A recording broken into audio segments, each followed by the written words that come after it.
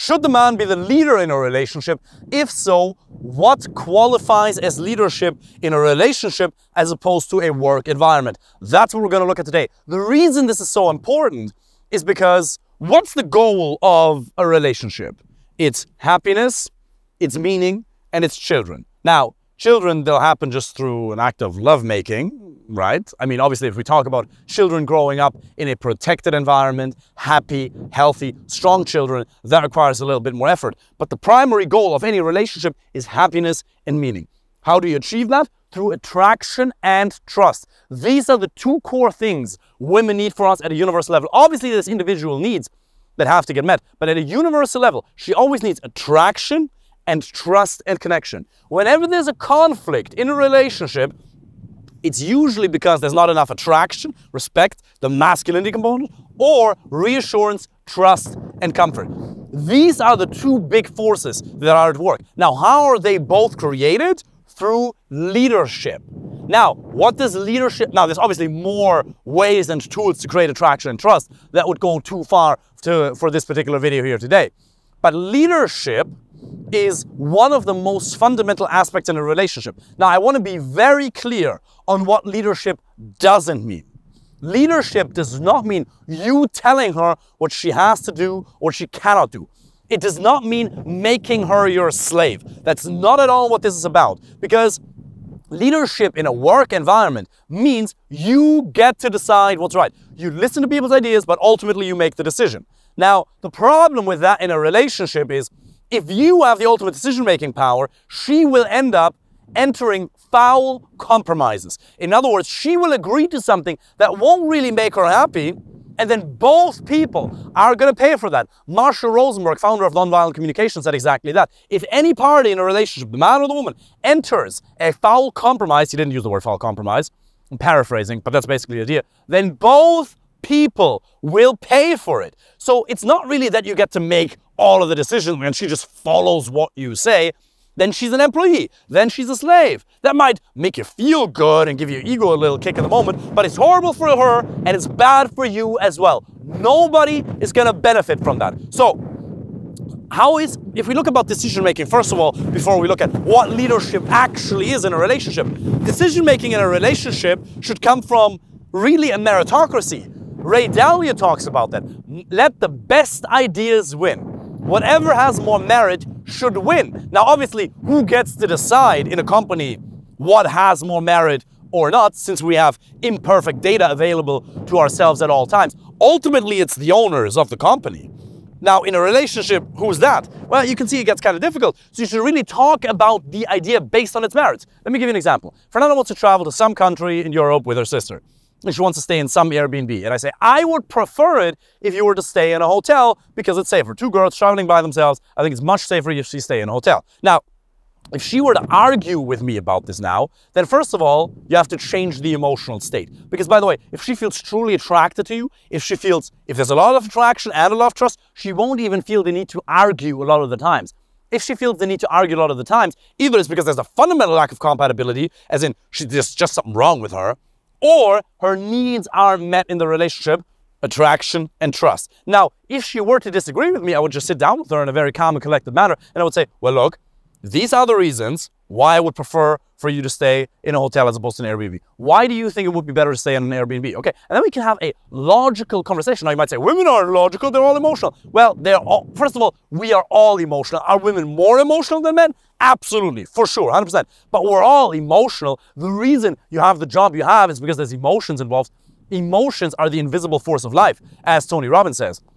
But coming back to that, first of all, the logic has to be involved. So you have to agree and see, okay, well, yeah, actually makes sense. Because the reason she wants to stay in it, it's never about the thing itself. It's about the real reasons behind it. And if you can meet the need behind the want, if you can meet the needs behind what it's being said, then it's not the Airbnb. She might as well stay in a hotel. Now, if she, now what happens if she says, no, I really still, I've listened to all the arguments, but I still think it's better to stay in an Airbnb. Well, then she can do that and it wouldn't have much of an impact because I still think it's safe enough given the country that she wants to travel to. No problem. And she ultimately obviously gets to decide that because what if I were to force her to do that? First of all, I can't, I don't have any right. It would be uh, absolutely unethical to do that. And even if she were to then go along with my suggestion, she would end up resenting me. There'd be passive aggressiveness inside of her. It wouldn't be good for her. It wouldn't be good for me. Both people would pay for that. Now, different example, because this one is a benign little thing. What if she were to go ahead and say, I want to have a lot of male friends? There's this guy, Tommy, you know, I, I think he could become my new male best friend. And I want to meet him for coffee. And I want to go for drinks with him. And she wants to spend one on one time with another man who's not her brother or her father. And let's say she were to insist on that. Do I then get to lock her into the basement, tell her she can't do that? No, obviously not. But it would end the relationship instantaneously because this is just a boundary that I have of mine. So leadership in this case does not mean telling her, oh, well, look, you can't do that. It's saying, in my relationship, that won't happen. You're absolutely free to do whatever you want, but this is a deal breaker of mine. Absolutely not. And then I would even encourage you to see why does she even have that need? If you screened properly, if you qualified properly in the beginning, if you've created a lot of high quality options for yourself with online dating, in-person approaches, you've screened properly, that problem won't even arise. And if she were to randomly start talking about this, then there's an underlying need that isn't being met. So you would have to really look at what the needs are that aren't being met.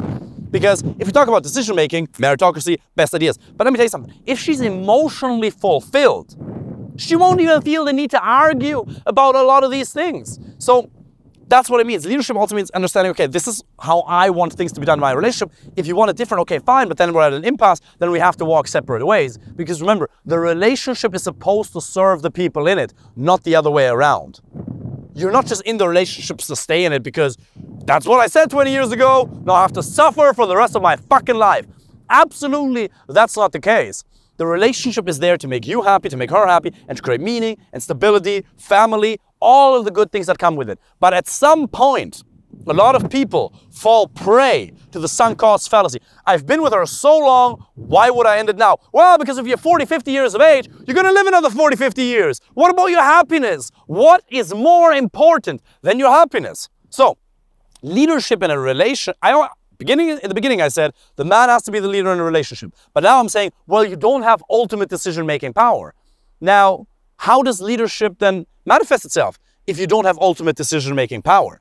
Well, before I go into that, let me give you one example where I would say the man should have ultimate decision-making power, where martial law is invoked, so to speak, and I just get to decide what's right. I believe the only case where that's okay is where there's imminent danger. Let's say Fernanda and I were walking down the street and a guy's coming and then I see a guy on the street, I might just move her over to the other side and then I have to deal with that danger. Or for example, oh, we're in a different in a dangerous situation, it's like get in the taxi and I'm just telling her what to do so we can get out of there. In those moments, like how often is that really going to happen? Hopefully never in your life, right?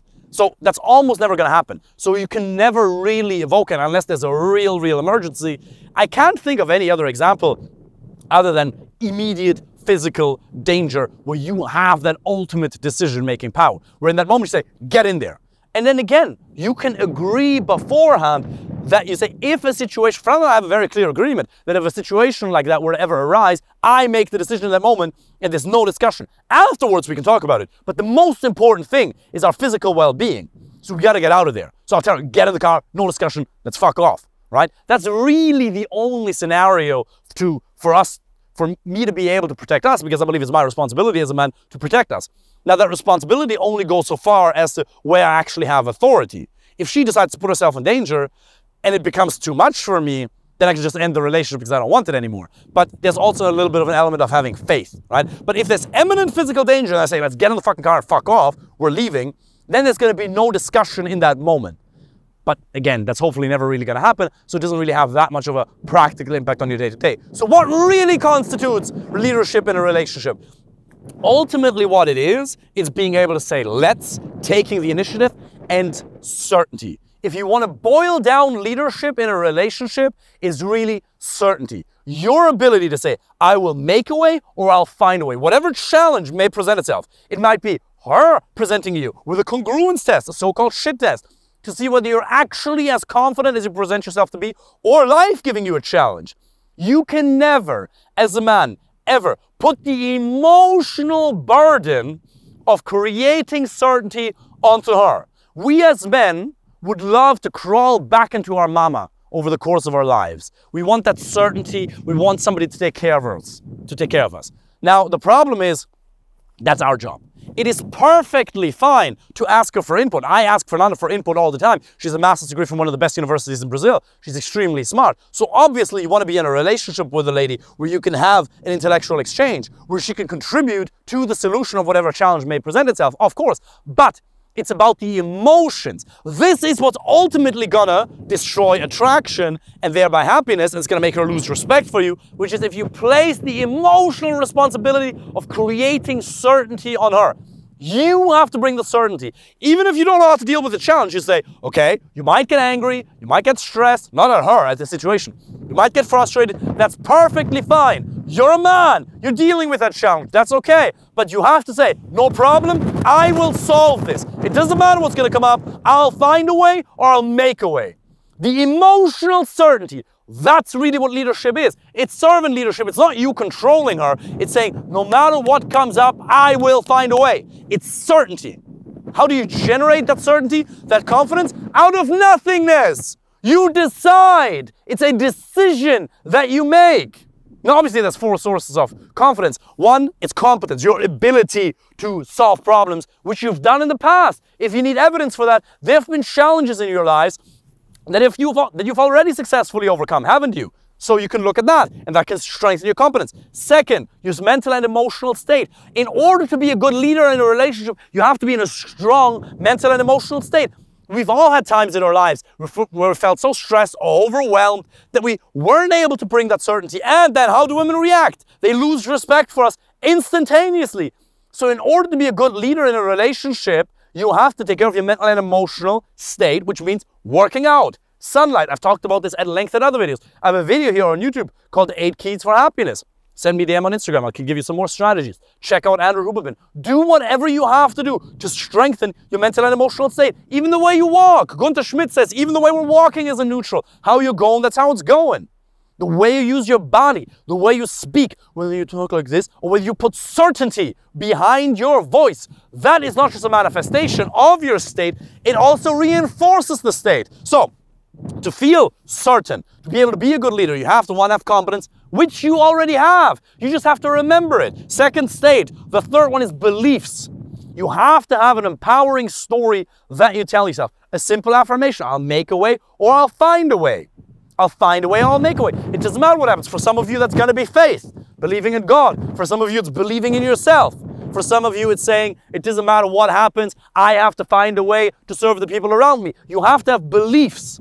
And if you want to change your beliefs, then you just need one reference experience that proves that you already are the type of man who's able to do that. Okay? So just look at what you actually believe about yourself. Because whether you're going for what you want in a relationship or not, whether you're putting yourself out there in your dating and your relationship life, you're dating, not in your career, you're going for the promotion, you're starting that new business, whatever it is, it comes down to beliefs, it's mindset. And then the fourth component of certainty is osmosis. Simply by spending time with other men who have that certainty, who have that confidence, who truly live that on a daily basis, that rubs off on you. If you spend time around people who are insecure, complaining, or little bitches, you'll become one. You need to spend time around men who are like that, and it will rub off on you. You feel a little bit like that through these videos. I'm trying to encourage you. If I were to sum up my life in one value, the one that my mother has bestowed upon me, it's encouragement. Encouragement means encourage, blah, blah, whatever French word that is, it means it comes from the heart. From my heart to yours, I want to encourage you. So I hope you're feeling a little bit of that here as well. But you need to have that locally. You need to have high quality male friends it, wherever you live. If you travel international, global network, that's amazing. But you need to spend time with men in a gym, jiu-jitsu, boxing, business partners that you see on a regular basis every single week. It is absolutely important. We outsource our sanity. So, that is ultimately what leadership comes down to. Obviously, we can then talk about being able to provide systems and structures for everything to flourish. There is a technical component to it for sure. But then there's also the idea of a vision. As a leader, you have to bring a vision to the relationship. Where are we going with this family? Leading the family doesn't mean I'll tell people what has to happen. Well, you can tell your children what has to happen. Obviously, you, you have decision-making power there for sure. But with your wife, It's really together. So you can see it's not just battling her. It's not so much overriding her terrible ideas. Ideally, you find somebody who has already amazing ideas. And if a conflict arises, change her mood, not her mind. Change her mood, not her mind. This is not about debates. In a relationship, you have to decide whether you want to be right or whether you want to be happy. And some of you guys are debaters. And I'd argue or I'd encourage you to stop debating so much and understand that what you have in common is what should drive the dialogue. Ask yourself, in this conversation with my girlfriend, my wife, or a lot of you are still dating, soon to be, or these people, what is my outcome in this relationship? What do I truly want in this situation? And then you realize, well, ultimately it's happiness. So do I really need to make this point or am I just emotionally driven? No. Now, if she's crossing one of your boundaries, communicate that clearly. That's another component of a leader. A leader can radically, honestly, and transparently address what's wrong. He doesn't ignore the weeds that are growing in the garden. He says, there are weeds right here. We have to address them. This is not okay. We have to talk about it in a very clear and concise manner. Firm, yet gentle. Firm, yet gentle. That's really what I want to leave you with. It's the understanding that being a leader does not mean having ultimate decision-making power. Now, in little things, yeah, she wants to be able to follow your lead when you say, let's go to the gym, let's do this. If she's emotionally fulfilled, she's super happy for that to happen. But ultimately what it is, it's certainty. It is you saying, this is the direction we should go into.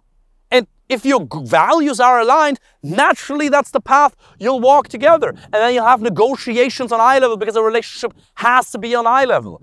But it is really the case that women love a man who takes the initiative, who says, let's go here. Certainty and persistence, but who's also obviously open-minded and reflect, or reflects upon his own mistakes. You can apologize. You can admit when you are wrong. It is absolutely critical that you have that ability as well, because otherwise you'll become a tyrant. That's not the aim of the game either, right? Because then you'll, yeah, basically start acting in a very harmful way towards her and eventually yourself. But women love it when men say, let's do this, let's do that. Mm, I don't know.